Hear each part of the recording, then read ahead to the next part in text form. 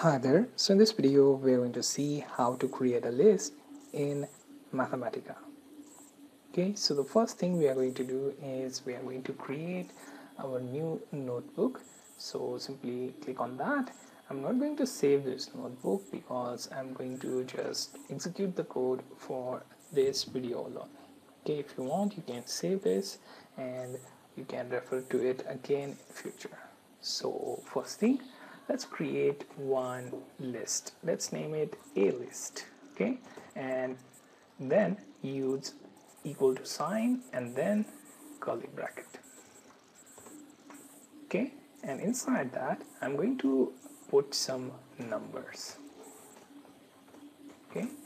Let's say these are my numbers. And after that I'm simply going to hit shift enter.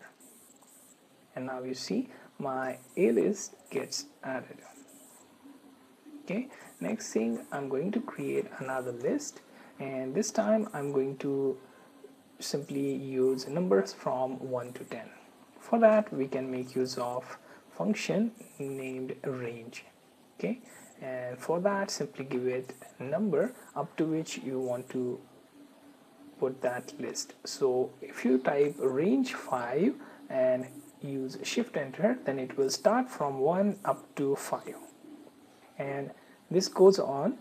Here you didn't specify starting and ending limit so it starts from 1 and ends with 5 now if you specifically mention let's say for C list let's do, let's do this with a range starting from 2 to 8 okay and if I hit shift enter then it will start from 2 3 4 5 6 7 up to 8 okay what if you want some increment in between each number? So in such case we will create another list.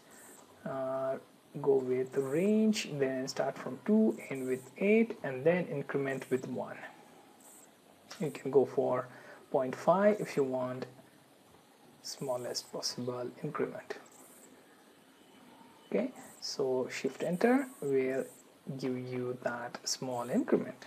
Also it will result in floating point values within your list.